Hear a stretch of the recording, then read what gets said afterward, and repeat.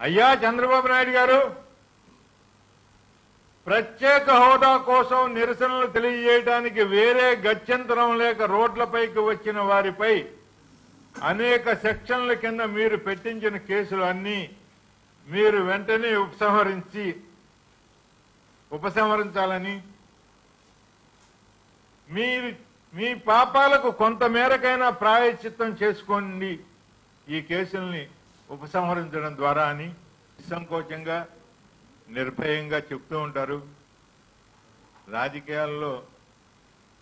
ఎప్పుడు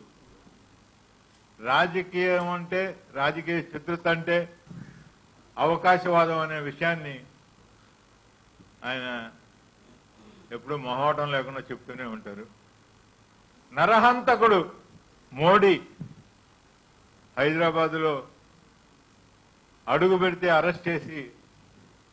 అహ్మదాబాద్ పంపిస్తామని చెప్పగలిగిన సాహసం అనుకుంటుంది అదే నరేంద్ర మోడీ దేవదూత దేశాన్ని ఉద్ధరించేవాడు. ఆంధ్ర రాష్ట్ర ప్రయోజనాలు మోడీ గారితో ముడిపడి ఉన్నాయని ఆయనకి సన్మానం చేయగలిగిన సామర్థ్యం ఆయనకే ఉంటుంది. వాటి విషయంలోనూ ఈవేళ చంద్రబాబు నాయుడు గారితో ఆ రోజు ఇదేమన్నా సంజీవిని అని చెప్పబడి ఈవేళ సంజీవిని అని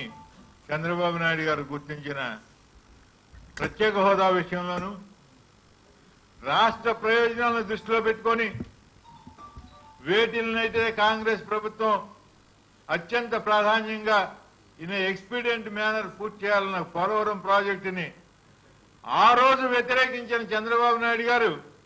ఈ రోజు దానికోసమే ఆయన నిద్రపోతున్నట్టు అసలు నిద్రలేకపో నిద్రలేని రాత్రులు దాంతోటే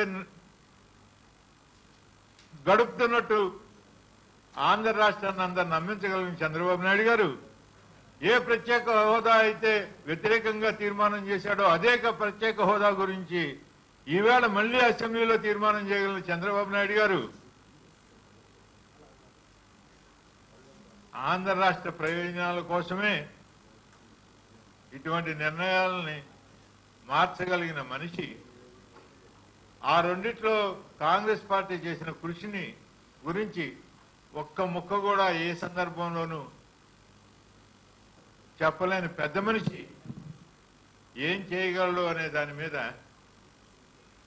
నేను చెప్పలేను